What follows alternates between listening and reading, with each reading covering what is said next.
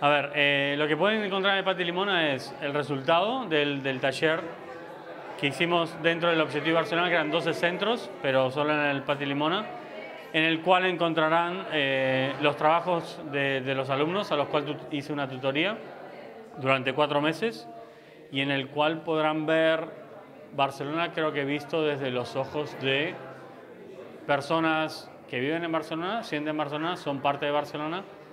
y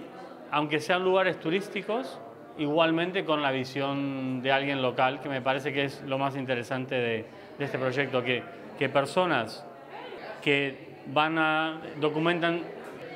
su ciudad desde un punto de vista que me parece que es muy interesante y enriquecedor para, para lo que hay en general. ¿no? Ha servido de, de, de lugar para que, que, esto se desarrolle. Creo que